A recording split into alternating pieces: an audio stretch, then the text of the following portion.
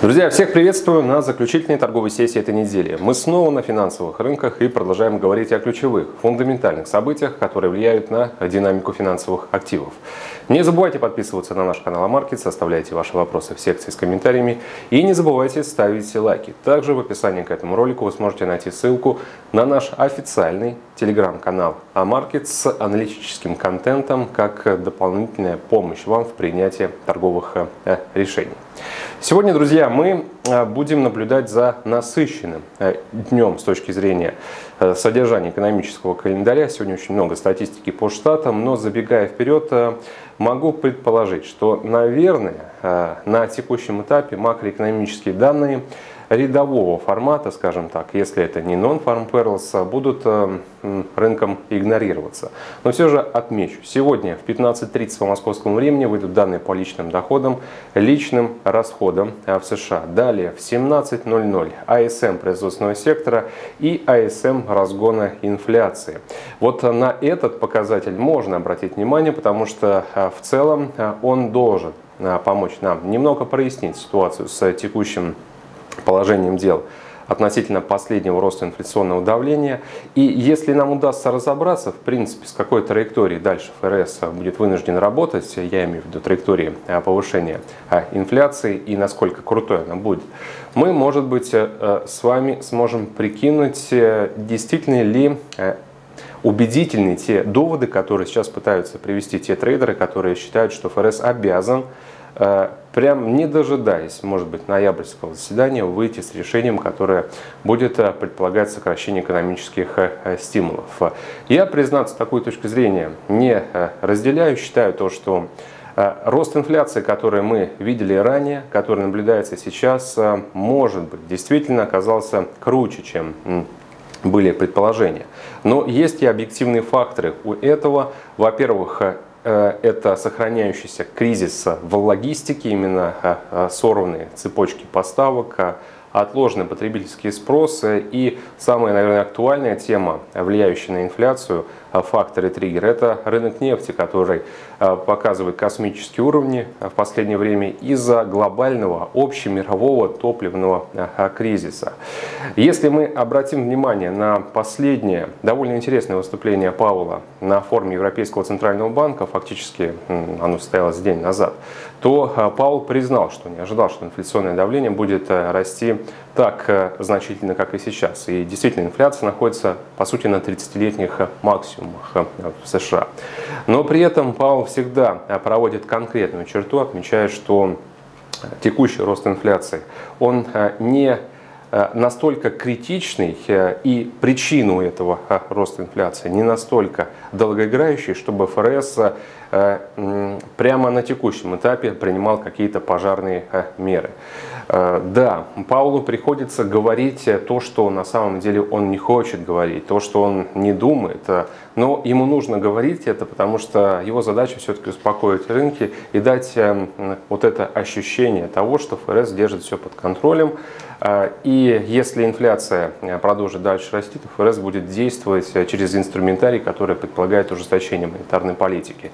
Но я обращаю ваше внимание и возвращаю вас, друзья, к последнему заседанию ФРС, где э, четко были обозначены все вот эти факторы э, роста инфляции, и тогда мы получили конкретную установку от американского регулятора, что возможное решение об ужесточении политики – это ноябрь.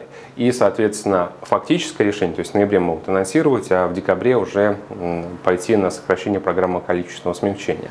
Поэтому, возвращаясь к текущей динамике доллара, мне кажется, что идея, что доллар растет, потому что все ставят на скорое ужесточение монетарной политики, она не совсем правильная. А, я думаю, что больше а, поддержки доллар сейчас получает из-за сохраняющейся неопределенности вследствие актуальной проблемы Эвергранда. Если вы считаете, что мы не говорим о ней, значит проблемы нет. Нет, а, проблема сохраняется и долговые трудности, с которыми столкнулась компания, ее еженедельные платежи, вот так вот разбит график погашения, каждый раз будет возвращать общественность к тому, что будет дальше. И не пройдена та самая точка невозврата, когда компания, китайский застройщик будет просто вынуждена объявить дефолт. Следующая неделя, по-моему, среда, четверг, это очередные транши на десятки миллионов долларов Возможно, в этот раз будут затронуты интересы инвестора настолько как бы внимательного к происходящему, что он не будет молчать. И вот эта тема, если она окажется опять же, на всеобщем обозрении, именно из-за того, что Вергранде не погашает свои обязательства в срок, может э, по принципу цепной реакции за счет э, мнения общественности сделать свое грязное дело и убедить всех, что э, дефолт уже неизбежен. Поэтому вот этот риск, он поскольку сохраняется, оказывает спрос сейчас поддерживать спрос на защитные инструменты, такие как э, доллар. Ну и еще более актуальная тема – это потолок государственного долга в США. Сегодня я думал, что у меня будет возможность из-за тех водных, которые были на утро вчерашнего дня, сообщить о шатдауне в Штатах. Но вчера конгрессмены все же смогли договориться о продлении финансирования функционирования органов, государственных органов до начала декабря. Но вопрос с потолком долга так и остался незакрытым из-за серьезных межпартийных э, разногласий. Это значит то, что пусть шатдаун, вопрос закрыт, но с дефолтом этот вопрос еще э, остается открытым. А значит, глобальный риск, самый глобальный, то, что и может, э, опять же, спровоцировать немыслимый просто финансово-экономический кризис, этот риск остается в силе. Поэтому доллар сейчас э, будет черпать поддержку в этом новостном фоне, пока ситуация не разрешится. Когда она разрешится? До 15 октября должно быть э, уже фактическое заключение о Конгресса. Эм, будет ли поднят потолок или нет, или вот эти сохраняющиеся разногласия вернутся всю мировую экономику между разногласия между республиканцами и демократами э, в финансово-экономический кризис. Друзья, 15 октября это не так уж и долго. Сегодня уже 1 октября. Ждем и следим за развитием событий. А пока давайте зарабатывать на панических настроениях, которые а, помогают валиться риску. По фунту, по евро мы уже достигли наших целевых ориентиров. А по евро я предлагаю рискнуть друзья. И сегодня под закрытие торговой сессии еще и с заходом на несколько дней следующей недели с текущих уровней 1 на 15.75 попробовать поставить на добой до отметки 1.15. Индекс рыночных настроений Кайман указывает на то, что все считают, что дно достигнуто, но, как правило, в такой момент э, второе дно сразу идет э, в подарок. 1.15 – реальная цель, которой стоит э, придерживаться. Австралийцы мы также продаем, цель 0.71, сейчас 0.72. Допускаю, что день-два, и мы увидим пару рядом с целевыми значениями. Американский фондовый рынок. Вот тут я рекомендую уже держаться подальше, потому что Э, тенденция снижения S&P, NASDAQ и Dow Jones уже вызывает э, определенного рода опасений. Все снова говорят о пузыре, который э, начал схлапываться еще до наступления реальных кризисных событий, таких как приближающийся буквально несколько дней, если останется дефолт американской экономики и реализовавшийся кризис Эвергранде. Если что-то из этого, ну, дефолт, друзья, это, конечно же, ну, совсем невероятно.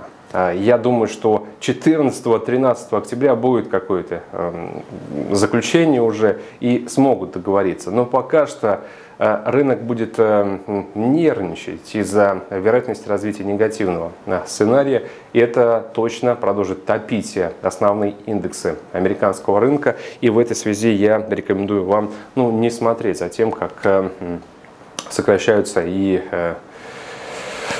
ваши депозиты из-за неверно принятого решения. Иногда нужно просто признавать, что фундаментальный фонд точно не располагает к тому, чтобы фондовый рынок рос, несмотря на то, что он рос в последние месяцы и даже э, больше, чем год.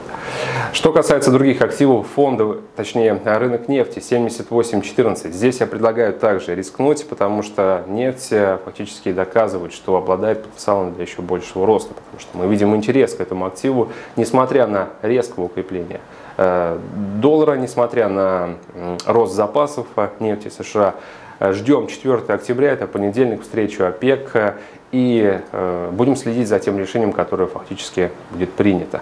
Если э, страны ОПЕК+, не согласуют дополнительный рост нефтедобычи, то тогда цены на нефть еще и на фоне вот этого актуального топливного кризиса точно будут э, тестировать сначала удачно протестируют успешно 80 долларов за баррель и нацелится на 85. И что касается золота, 1751 мы допускали, что золото может на фоне Э, тех новостей, которые сейчас идут э, относительно потолка государственного долга и вероятности банкротства США, выстрелить в любой момент. Это произошло вчера, и э, из-за сохраняющегося в моменте интереса к рынку драгоценных металлов, тоже как защите, может быть, даже более крутой, чем доллар, из-за того, что новостной фон еще остается в таком подвешенном состоянии, мы следим за развитием событий, золото, как я ранее отмечал, легко может добраться до 1800 долларов долларов за тройскую унцию. Друзья, на этом, собственно, все. Хорошего вам закрытия недели. Всем пока.